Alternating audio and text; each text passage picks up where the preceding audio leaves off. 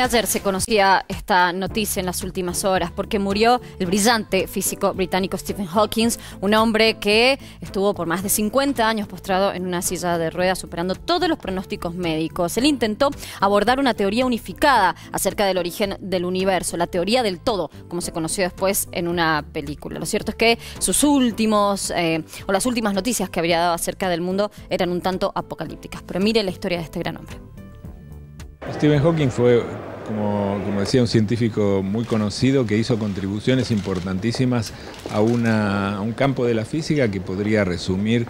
como el intento de eh, poner de acuerdo dos ramas de la física muy importantes, la gravitación, que es lo que describe lo más grande que conocemos en el universo, las galaxias, los planetas, etc.,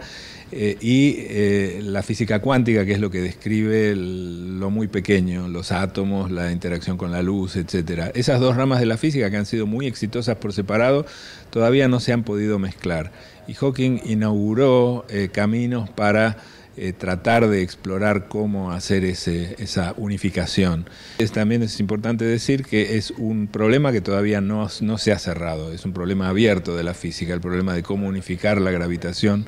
y la física cuántica. Y, Hawking eh, hizo descubrimientos importantes sobre la física de los agujeros negros, las propiedades de los agujeros negros. Él se dio cuenta que esas cosas que imaginamos como objetos muy densos y muy compactos de los cuales ni siquiera la luz puede escapar,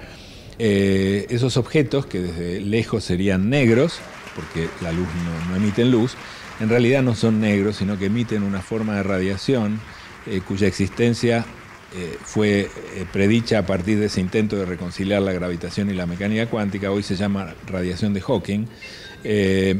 y, este, todavía no ha sido detectada, pero es uno de los fenómenos más importantes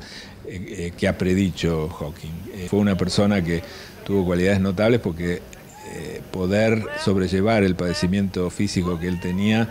eh, no es fácil y, mucha gente se da por vencida cuando se encuentra con, padecimientos de ese tipo. Eh, Hawking es como un ejemplo, que yo lo veo como un ejemplo de,